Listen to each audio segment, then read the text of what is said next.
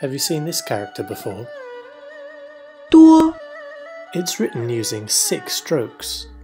撇，横撇，点，撇，横撇，点。 Let's look at what goes into this character.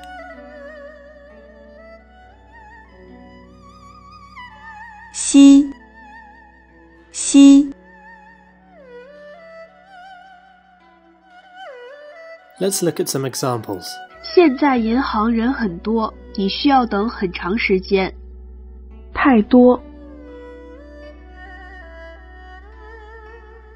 here's a character that looks similar.